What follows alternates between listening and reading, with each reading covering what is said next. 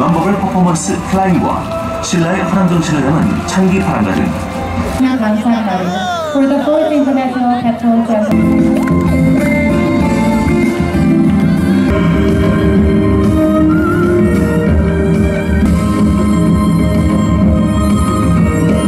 나는 나의 명예를 걸고 다음의 조목을 굳게 지키겠습니다.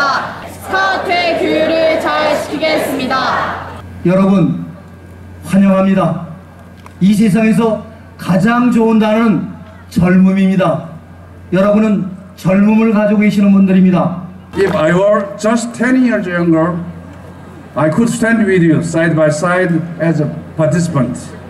제4회 국제 페트롤 잼버리의 개영을 선언합니다. 제4회